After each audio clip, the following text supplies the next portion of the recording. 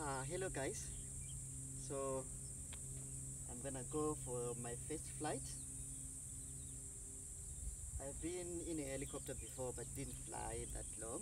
So it's a little bit hot today, but the weather is clear and this looks comfy inside.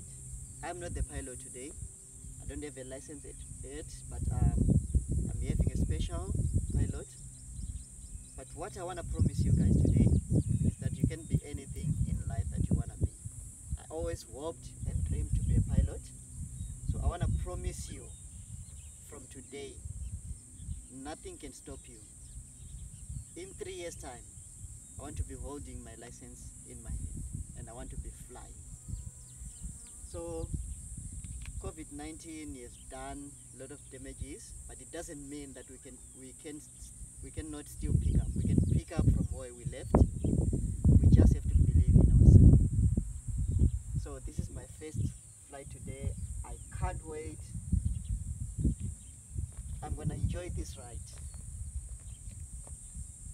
Next time I'm going to be in the same plane or a bigger plane. I want to be a pilot.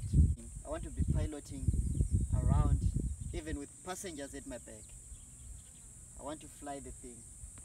I love flying. That's my passion. That's my line of work.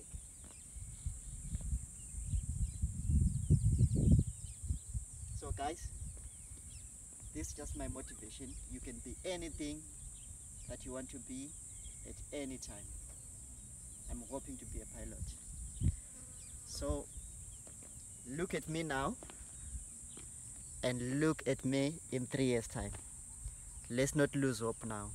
Let's do it guys.